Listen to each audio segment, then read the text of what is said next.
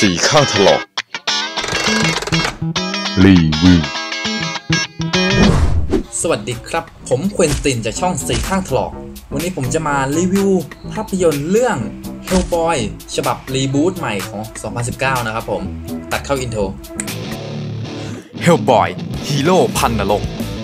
ภาพยนตร์ฮีโร่เรต R จาก comic ค่าย Dark Horse Comics เขียนโดยไมค์มิกโนล่าและเคยถูกสร้างเป็นภาพยนตร์มาแล้ว 2 ภาค Hellboy ในปี 2004 สร้างโดยค่าย Sony Pictures Hellboy Golden Army ของปี 2008 ซึ่งเป็นภาคต่อ แต่สร้างโดยค่าย Universal Pictures ซึ่งทั้งสองภาคที่สร้างมานั้น ขาดทุนยับทั้งสองภาค โปรเจกต์ภาค 3 จึงถูกยุบไป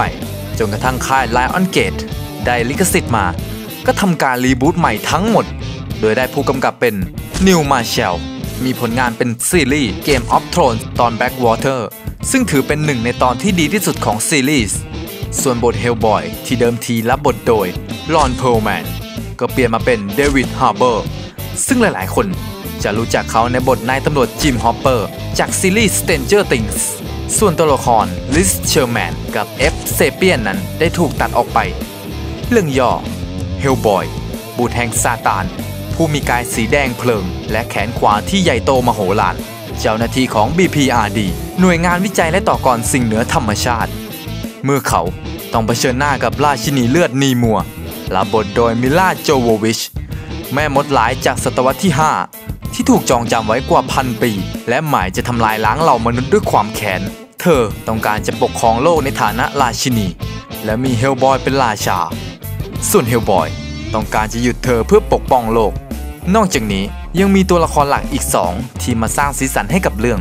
อลิสโมนาแฮนรับบทโดยซาชาเลนสาวน้อยที่ถูก Hellboy ช่วยชีวิตไว้เมื่อยังเด็ก เธอมีความสามารถพิเศษในการสื่อสารกับวิญญาณ และเบนไดมิโอรับบทโดยแดเนียลแดคิม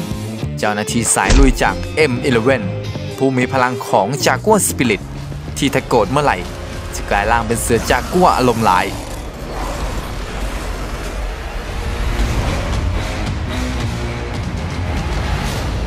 อเตือนก่อนเลยนะครับว่าใครที่คิดจะพาเด็กๆ แบบลูกๆหลานๆ คือเด็กเล็กๆ ไปดูภาพยนตร์เรื่องนี้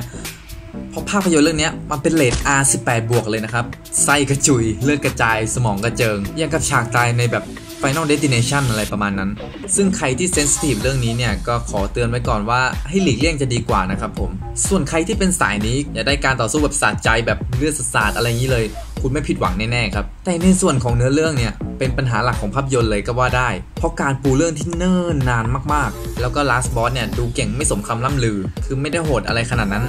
ทำให้ตลอดเวลาที่ปูเรื่องมาเนี่ยดูไร้คาบเลย ส่วนการตัดต่อเนี่ยน่าจะเป็นปัญหาหนึ่งของหนังด้วย บางทีก็ยืดเกินไป บางทีก็ตัดแบบรวบรัดมากๆ จนแบบบางคนอาจตามไม่ทัน ส่วนฉากดราม่าก็ทำได้ไม่ มันไม่อินอะ impact มันส่งไม่ถึงคนดูขนาดนั้นนะครับ ถ้าเทียบกับเวอร์ชันแรก อันนั้นทำ part ดราม่าได้ดีกว่า นั่นเลยทำให้ผมคิดว่าหนังคงได้คะแนนสัก 4-5 คะแนนได้มั้งครับดูแย่มากเลยเนะแต่ผมชอบเรื่องนี้มาก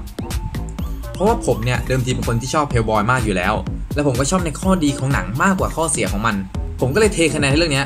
9 คะแนนเต็ม 10 ใช่ครับผมอวย ผมชอบในหลาย ๆ ส่วนของหนังที่มันดีนะ ฉากแอคชั่นทำออกมาไม่แย่ คือมีมาตรฐานและทำได้ดี แต่ก็ไม่ถึงขั้นแบบที่จดจำอะไรขนาดนั้นนะครับ ฉากแหวะคือพวกฉากเลือดสาดฉากไส้กระจุยกระจายอะไรเงี้ยผมเป็นคนชอบหนังสยองขวัญหนังฆาตกรหนังอะไรที่มันแบบมีฉากพวกนี้อยู่แล้วไงเพราะฉะนั้นมาดูเรื่องนี้ผมเลยรู้สึกว่า เออ มันสุดดีมันแบบมันกล้าทำอะไรพวกนี้ดีอะหนังฮีโร่ที่แบบมีฉากฉีกตัวขาดอะไรเงี้ยมมันไม่ได้มีให้เห็นบ่อยๆไงครับ แล้วก็อันนี้ไม่พูดถึงไม่ได้เลย ฉากลองเทค มันจะมีประมาณ 2 ฉากใหญ่ ๆ คือฉากประมาณต้นเรื่องกับท้ายเรื่องเลยไอฉากต้นเรื่องเนี่ยทำเจ๋งอยู่เจ๋งในระดับหนึ่งแล้วในฉาก long take ตอนจบเนี่ยมันมีอะไรที่เซอร์ไพรส์คนดูอยู่ แล้วก็รวมไปถึงฉากในเครดิตภาพยนตร์เรื่องนี้มี end credit 2ตัวนะครับอย่าลืม ส่วนใครที่ไม่ชอบเรื่องนี้คือผมเข้าใจนะว่าทำไมไม่ชอบ เพราะฉะนั้นใครที่อยากดูแบบเอามันเอาสะใจอะไรเงี้ยก็ไปดูได้ครับมุกตลกก็ก็ฮาดีก็ไม่แปลกเท่าไหร่นะ แต่ถ้าใครอยากดูหนังฮีโร่ที่แบบมีอะไรใหม่ ๆ แตกต่างจากที่มีอยู่ในทุกวันนี้ คุณก็อาจจะผิดหวังมากๆ เพราะหนังมันก็สุดสำเร็จพอสมควร ยังไงคุณก็อย่าเพิ่งเชื่อผมละกัน ต้องไปดูด้วยตัวเองดีกว่าครับ แล้วค่อยตัดสินมันด้วยตัวคุณเอง วันนี้ในโรงภาพยนตร์